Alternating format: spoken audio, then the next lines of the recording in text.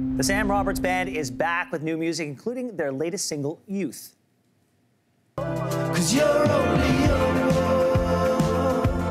try to remember how your heart was beating when you were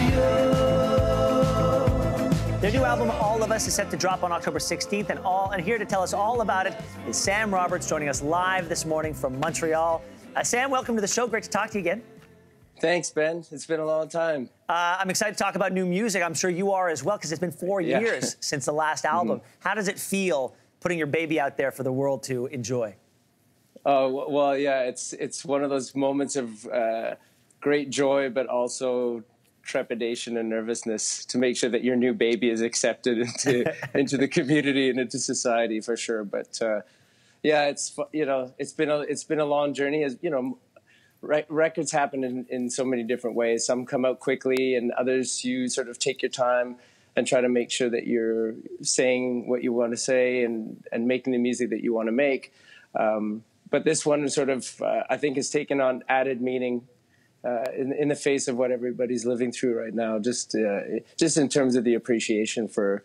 Uh, the life that we've lived up until this point, for sure, and I think a lot of that is in the music itself. Well, let's talk about the life that we've lived and the appreciation that we have. How, how has life been for you during quarantine and throughout the pandemic? Uh, it's been interesting for sure. It started off with a well. It started off actually. We were in the studio uh, trying to finish off the last uh, sort of week of recording, and we managed to sneak that in uh, just under the deadline. So we were really, uh, really happy that that happened because otherwise we'd be sitting on an incomplete or an incomplete uh, record at this point. But then the kids came home and I became a grade school teacher for uh, for the rest of the school year. Yeah. So, yeah, it was a pretty pretty crazy transition from you know rock and roll life to grade three math. A bad a bad grade yeah. three math teacher. You got into music so you wouldn't have to do the math. I mean, that's exactly. why I got into TV. Hey, I had a this chance to watch. This was not part of the plan. No, so. but but but you, you, pivoted, right? You got that new band performing together on the gram. We all watched it during quarantine. Let's take a quick look. One, two, one, two, three, four.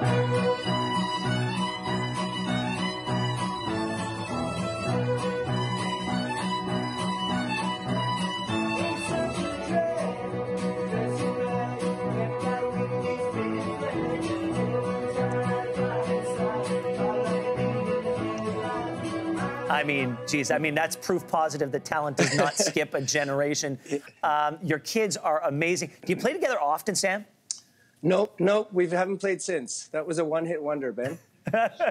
yeah, no, they're they're far too demanding as bandmates. All right, well, let's talk about the so, new album.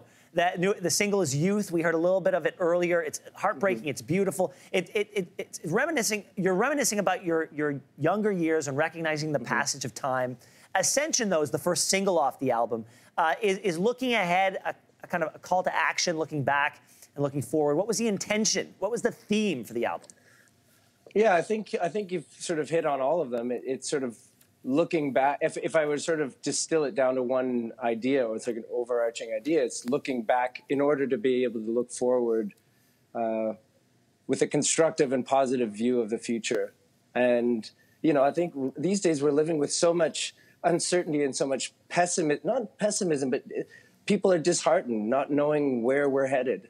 And sometimes if you do take the, the opportunity to look back to the good times in your life, and, and for myself, it was looking back deeper than I have before into my own childhood and just trying to accumulate uh, memories and meaningful moments in my life so that when you're trying to sort of shape that vision of the future that you want to live in, you have well ammunition is the wrong word but you have something something stockpiled you know again good good memories good feelings Sam, we're gonna have to forward. we're gonna have to leave it there. It's been great catching up with you. Thank you, Ben. And if you're in the Toronto area, the Sam Roberts Band will play at the OLG Play Stage tomorrow night. Still one of the best live bands in Canada for my money. And for more information, head over to yourmorning.ca. Thanks for watching. If you like this, be sure to subscribe here. And you can check out more Your Morning videos right here.